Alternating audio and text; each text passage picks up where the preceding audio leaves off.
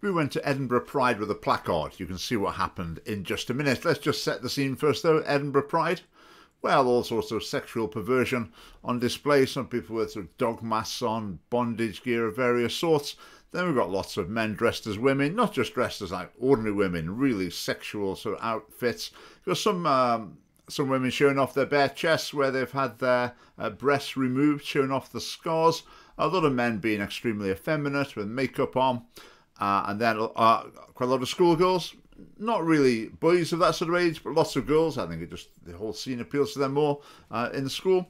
We've got the Sisters of Perpetual Indulgence. They're the sort of sexual obsessives who dress up as nuns in order to mock the idea of sexual purity uh, and the church. And then in among all this, you've got children being shown around by their misguided parents. So in we went with our placard that said statistically, children brought up by their natural parents do best. Children brought up by their natural parents do best, which is just a fact. There's a mountain of evidence to confirm that. You can see in the description for this video if you want to follow some of those links. Now you might think, so going to a Pride event, what's this message got to do with Pride? Will they object to that? Well, they certainly did. They certainly did. Because Pride is all about adults. It's about adult desires. About what children need within the family, that doesn't come into it at all. So we go with our message about what's best for children. And the response from a lot of people at the Pride event was, how dare you bring up what children need. So what did happen when we got that sign out? So I, held the sign. Um, people tried to obscure it with flags. Um, so I sort of walked around so that was a bit more difficult for them. Someone tried to trip me up. Uh, someone tried to put a sort of pride flag around my neck. I didn't know what it was. So as far as I could tell, it was just a cord being put around my neck from behind. I got pushed and shoved a bit. A couple of people tried to grab the sign. Uh, sort of constant swearing and abuse just the sort of thing you, would expect. We've had typical sort of responses at other similar events. Some people tried to engage in discussion with various degrees of civility and mainly incivility. I mean, one sample conversation, someone said, you know, how do you know? I said, well, there's lots of research about it. Okay, name me one. Name me one piece of research.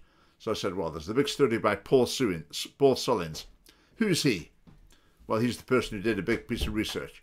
Oh, right, okay. Right, do you know how much harm you're doing by holding that sign? Well, we just want what's best for children.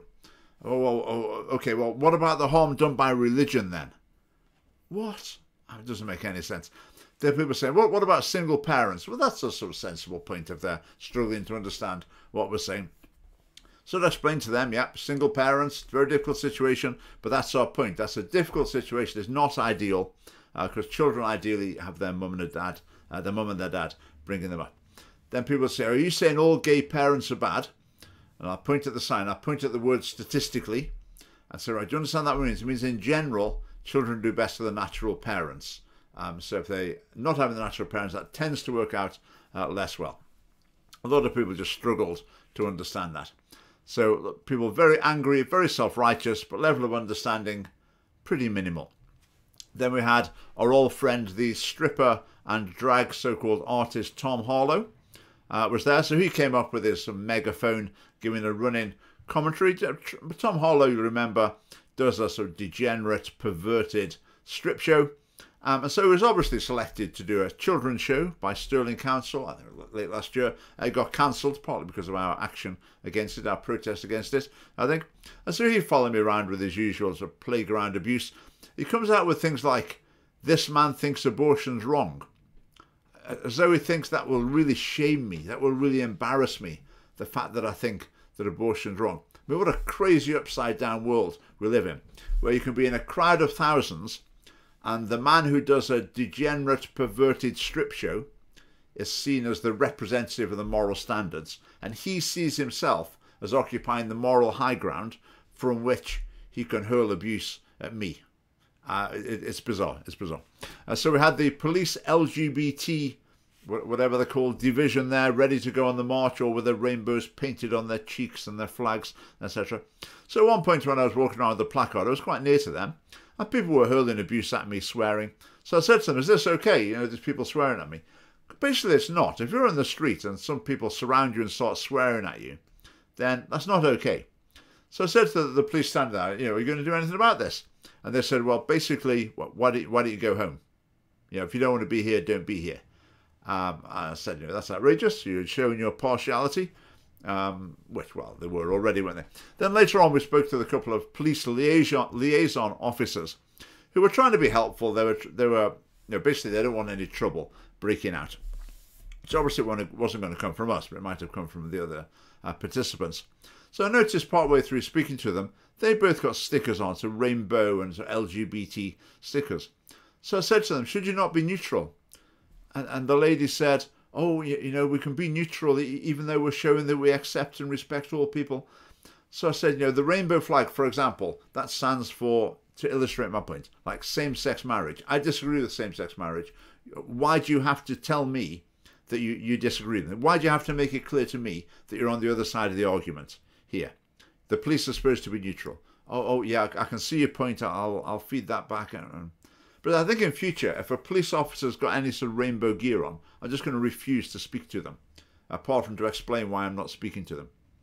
Uh, so what was the point of this little activity for us last Saturday? Well, the point is to show that the agenda of pride, LGBT pride, is that it's all about adults and it's nothing about children apart from luring them into their ideology. It's nothing about the well-being of children and providing children with what they need within the family. Now in Scotland, who speaks up for children? Who speaks up for children, saying children need a mum and a dad? That's the ideal family form for them to be in. So we want to maximise the number of children born into that and benefiting from that in the future. Who says that in Scotland? Apart from the Scottish Family Party. The Conservatives, not a chance. Not a chance. Nothing whatsoever. If you don't care about children, then you don't care about the future of our society. And if you do care, I would ask you to support the Scottish Family Party by some of the links below.